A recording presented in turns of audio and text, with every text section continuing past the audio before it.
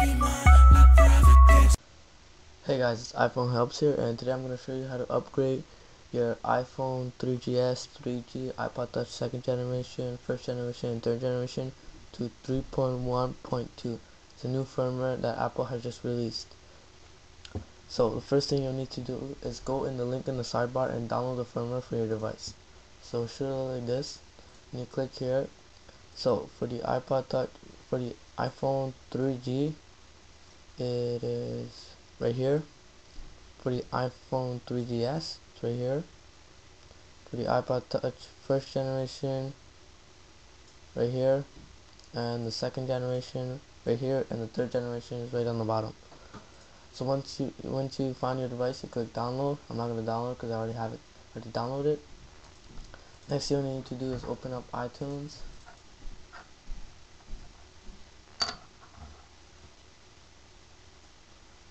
so open up. And connect your iPhone to your computer.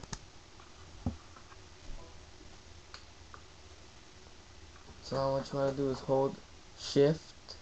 If, on, if you're on a Mac hold option but if you're on a PC hold shift and click restore. Now browse for the firmware that you just downloaded.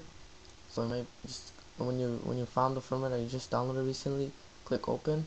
I'm not gonna do it because I already did it so once you do that it should restore your iPod touch and it should take about 5 minutes max. And once you have that you'll have the new firmware. So that's all about it and don't forget to have an iPhone 3GS 16 gigabyte giveaway going on. So there'll be a link in the sidebar. That's all about it. Don't forget to rate 5 star favorite and subscribe. Thanks for watching. Peace